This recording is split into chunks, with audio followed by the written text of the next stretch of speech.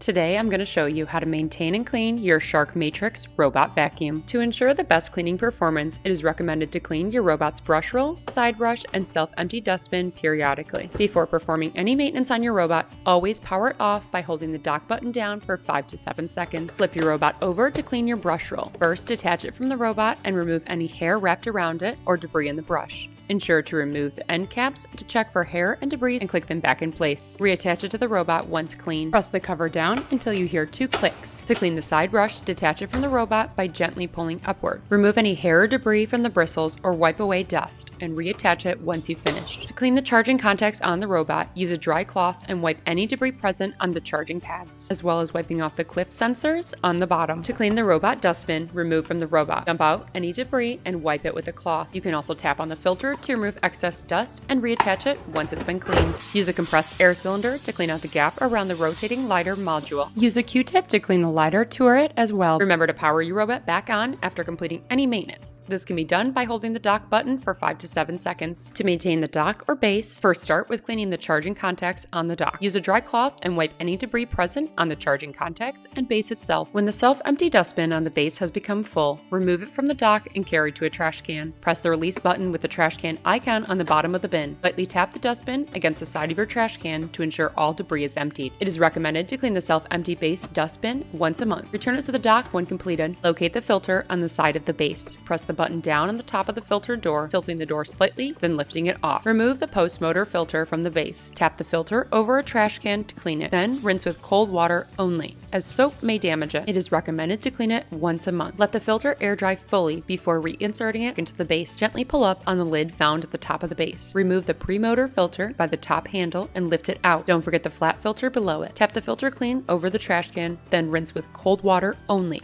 as soap may damage it. Allow it to fully dry before reinserting it into the base. It is recommended to clean it once a month. If you're looking for more information on your Shark Matrix robot, visit sharkclean.com.